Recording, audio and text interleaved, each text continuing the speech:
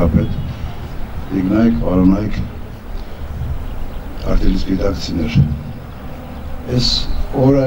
Ճապոնիայում 2011 թվականին տեղ ունեցած հզորագույն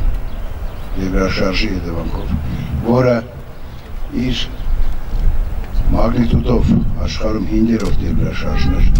հզորությամբ եւ որից հետո հաջորդած ցունամիի պատճառով 1 ժամվա ընթացքում Ճապոնիայի այդ հատվածը վերածվեց ավերակների։ Տասնյակ հազարավոր զոհեր եղան։ Եվ այսօր շատ բարձր մագարտակի վրա են աղետների վերացման, աղետների դեմ պայքարի ուղղությամբ Ճապոնիա եւ Հայաստանի կառավարությունների միջև եղած հարաբերությունները։ Բոլորովին վերջերս Ճապոնիայի կառավարությունը, Հայաստանի կառավարությանը,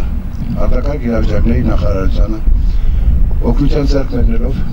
նվիրատվության ձևով բազմաթիվ տեխնիկական միջոցներ է տրամադրել եւ շարունակում է տրամադրել։ Մենք սպասում ենք նաեւ հաջորդ պարտիաներին, որոնք կլինեն այս տարվա մեջ։ Ես ուզում շնորհակալություն հայտնել Սպիտակի գրգարական ջոկատի ծառայողներին այս հուշարձանը կառուցելու համար։ Այ ուրիշ տեղ չէր կարող ունեցա, սա պետք է լեր Սպիտակում որ Սպիտակն էր էպիկենտրոնը այն ամենի, ինչ որ մենք տեսել էինք 1978 թվականին։ Արկանտի դուրք մատուցելով Ճապոնիայում տեղ ունեցած ցունամի եւ երկրաշարի զոհերի շատատին, մենք Արկանտի դուրք մատուցում նաեւ մեզ եւ Ճապոնիացի ժողովրդին։ Արտելի բարոն դեսպան, իդեմս ցես Ճապոնիայի կառավարությանը եւ ամբողջ ժողովրդին։ Աստված Եվրոպայի բոլոր տեսակ աղետներից եւ մենք պետք է պատրաստ լինենք ցանկացած պահի օգնության ձեռք մեկնել մեկս մյուսին եւ կարող եմ ասել որ 11 թվականին երբ որ տեղի էր ունեցել երկրաշարժը Հայաստանի արտակարգ իրավիճակների նախարարությունը առաջարկել էր իր օգնությունը Ճապոնիայի կառավարությանը եւ պատրաստ են եղել մեկնելու այնտեղ եւ եղել են այնտեղ մեր աշխատակիցները այդ ժամանակ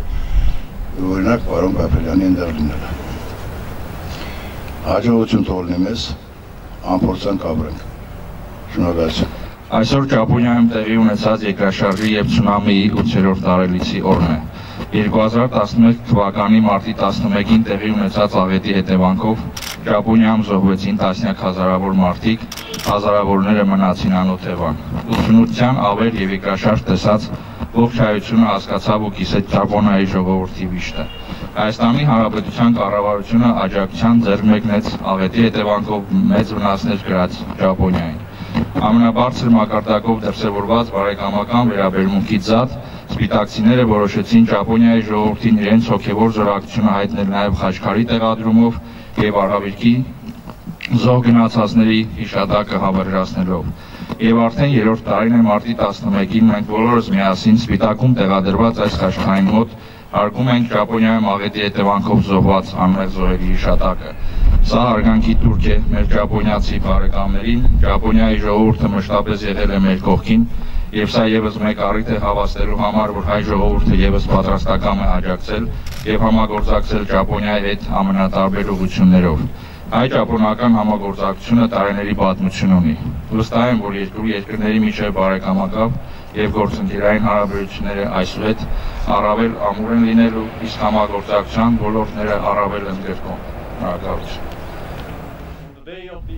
Այսօր Արևելյան Ճապոնիայի երկրաշարժը, որտեղ ունեցավ մարտի 11-ին 2011 թվականին, ես կուզենայեմ ցավակցությունը հայտնել ավելի քան 22000 մահացածների եւ անհետ գոզակորածների հիշատակին եւ իմ զորակցությունը հայտնել բոլոր տուժածների նետարհավիրքից։ Այսօր օգտվելով առիթից ես կուզենայեմ շնորհակալության խոսքը հայտնել Հայաստանի Հանրապետության կառավարությանը, հայ առաքելական եկեղեցուն եւ հայ ժողովրդին այն անգնահատելի աջակցության համար, որը ցուցաբերվեց Ճապոնիայի ժողովրդին երկրաշարժից հետո։ Հատկապես ես կուզենայեմ երախտագիտության խոսքը հայտնել Սպիտակ քաղաքի բնակիչներին եւ քաղաքապետին, որոնք Ճապոնիայի ժողովրդի հանդեպ բարիկամ դրսևորեցին եւ 2012 թվականին կառուցեցին Խաչկար Ճապոնիայի երկրաշարժի զոհերի հիշատակին եւ այդ ժամանակից ի վեր հարգակի տուրք են մատուցում զոհերին։ 1978 թվականի երկրաշարժից հետո Հայաստանը Ճապոնիան սերտորեն համագործակցում են աղետների նվազեցման ոլորտում։ Եվ օգտվելով առիթից ես կուզենայեմ շնորհակալությունը հայտնել պարոն Սոլակյանին, այն նախարարին եւ նրա անձնակազմին համագործակցելու եւ բարձր հիրավի բարձր մասնագիտական հմտությունների համար։ Սիրելի Սպիտակ քաղաքի բնակիչներ եւ Սպիտակի ընկերներ, Ես գիտեմ մեկ ճշմարտություն, որ մենք պետք է հնարավորինս պատրաստ լինենք ապագայի բոլոր արհալիքներին եւ երկրաշարժերին անցյալի դասերը քաղելով եւ այդպիսով պետք է շարունակենք համագործակցել եւ Ճապոնիան ամբողջ համագործակցում է Հայաստանի հետ, որպեսզի ապագայում նվազեցնենք մարդկային կորուստները եւ մեր հասարակությունը ավելի տոկուն դարձնենք աղետների անդեպ։ Շնորհակալություն։